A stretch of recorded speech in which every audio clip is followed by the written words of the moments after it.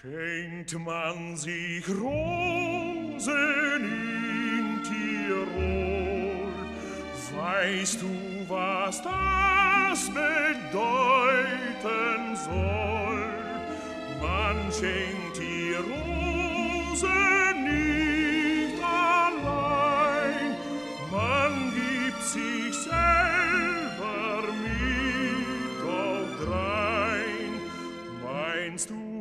so verstehst du mich, meinst du es so, dann liebste sprich, meinst du es so, so tröst,